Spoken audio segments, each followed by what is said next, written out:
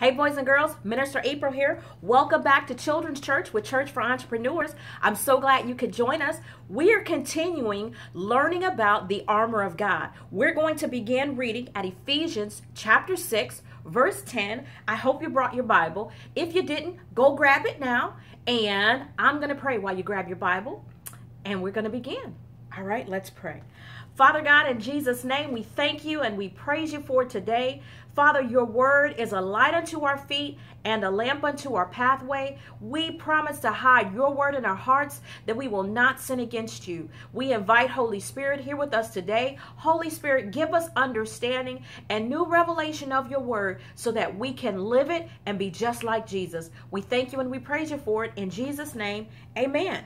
Boys and girls, we're going to begin reading. I'm reading from the King James this week, and we're going to be, begin at verse 10. It reads, Finally, my brethren, be strong in the Lord and in the power of his might. Put on the whole armor of God that you may be able to stand against the wiles or the arrows of the devil, the flaming arrows and darts of the devil. For we wrestle not against flesh and blood, but against principalities, against powers, against the rulers of the darkness of this world, against spiritual wickedness in high places. Verse 13, wherefore take unto you the whole armor of God, that you may be able to withstand in the evil day. And having done all to stand, stand therefore, having your loins girt about with truth or having on the belt of truth, and having on the breastplate of righteousness, and your feet shod with the preparation of the gospel of peace, and above all, taking the shield of faith, wherewith ye shall be able to quench all the fiery darts of the wicked, and take the helmet of salvation and the sword of the Spirit, which is the Word of God. So, boys and girls, we've come to a fun and exciting part of the armor. This week, we're learning about the sword of the Spirit, which is the Word of God. So, it tells us right there if you ever wonder what the sword of the Spirit is, the sword of the Spirit is the Word of God. Now, let me show you something else that's awesome.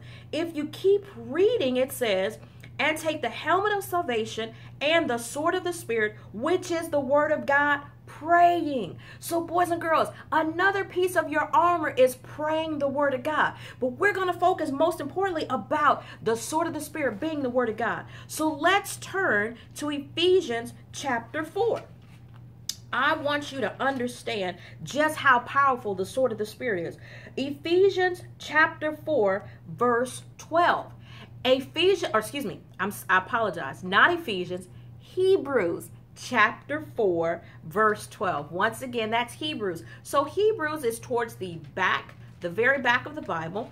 It is a couple books before Revelation. So if you're, if you're not familiar with how to find Hebrews, go to the back of the Bible, find Revelation. Right before Revelation is Jude. Then you have 3rd John, 2nd John, 1st John, 2nd Peter, 1st Peter, James, and then Hebrews. So, Hebrews chapter 4, verse 12. As you guys know, I get so excited about the word, so sometimes I just have to slow down. But Hebrews chapter 4, verse 12 says, For the word of God is quick and powerful and sharper than any two edged sword piercing, even to the dividing asunder or, or splitting aside of the soul and the spirit and the joints and marrow, and it is, is a discerner of the thoughts and intents of the heart. Now, I just said a mouthful, and what do I mean? Boys and girls, the Bible tells us that the Word of God is sharp. It's alive. Now, when you think of something being alive, I want you to think about something that is living. Remember, Jesus is alive. Where is he alive? He's alive in heaven with Father God. Jesus is the word of God come to life. He in the the Bible tells us in the beginning was the word, the with, word was with God, the word was God.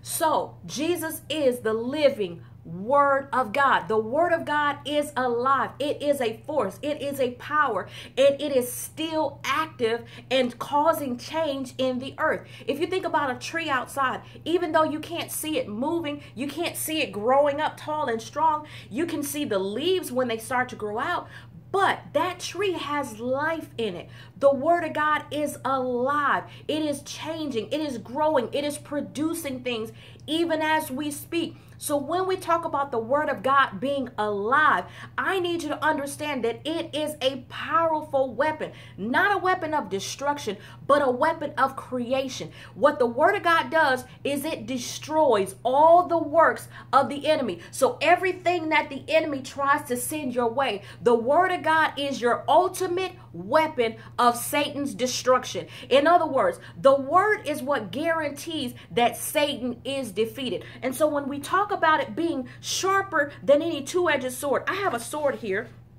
and this is actually my husband's um, something that he got as a collector. And i want i'm going to be careful with where i put my fingers so i don't cut my hand my fingers. But this is a sword. And what is the purpose? If i were a soldier in battle i would in in roman days or in bible days i would use this sword as a weapon to uh, to hurt or harm the enemy that comes against me. So when you understand that the word of god is sharper than a two-edged sword sword. Now that's a pretty big sword. It's a sharp sword. But guess what? The word of God is sharper. It's almost like, you know, we don't use swords when we battle nowadays. Uh, most of the time, our soldiers are armed with guns. But if we were in the space age, I want you to re realize actually, let me pause for a minute. Let's make this a little bit cooler.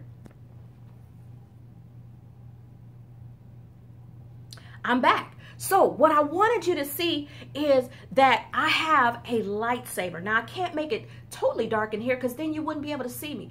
But what I want you to understand is if we were even in the space age, we would be using not just a regular metal sword or a gun, we would be using a lightsaber. What is the purpose of this? The purpose of the lightsaber was to defeat your enemy. So I want you to realize that the word of God is your ultimate weapon to defeat the enemy. How do we do that? Well, just like a Jedi, as you can see, I am the Jedi mom, I'm a Jedi master.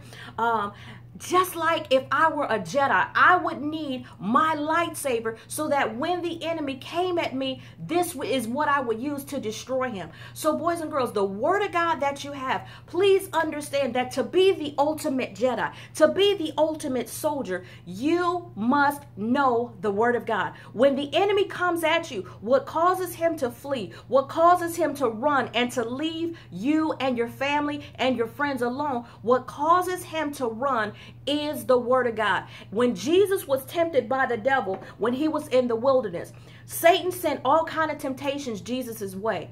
And the way that Jesus defeated Satan was through the word. He went back to the word of God and he reminded Satan. He said, "Satan, it is written. It is written. It is written." He said, "It is written that man shall not live by bread alone, but by every word that proceeds out of the mouth of God."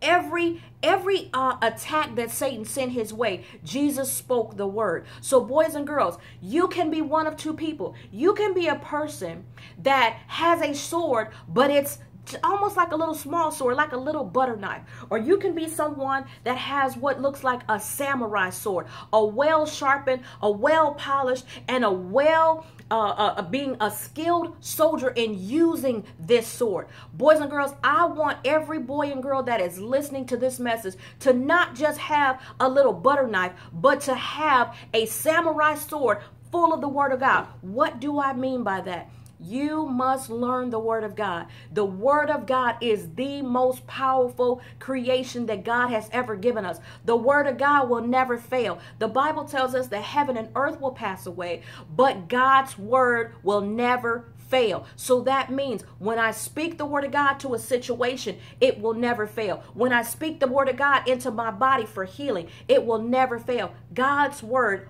always produces a result. So what happens in a situation you may say when we pray for something and it didn't come to pass? Why what what happened? You need to realize you have a weapon. Or you excuse me, you have an enemy. Satan will come at you to destroy you and he comes to hinder your prayer. He comes to cast thoughts of doubt and cause thoughts of defeat so that you'll stop believing the word.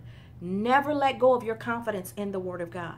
God's word is true. It never fails. It always comes to pass. So our job is to take the word of God, to get it in our heart, and to be just like a Jedi or a samurai, so that when the enemy comes, we're able to combat him with our sword, with our shield, with our lightsaber, with every piece of the armor that God has given us, because we know that with God, we always win. So I hope you are Jedi ready and you are ready to defeat the enemy with the word of God coming out of your mouth. I love you so much. I'll see you next week. Be blessed.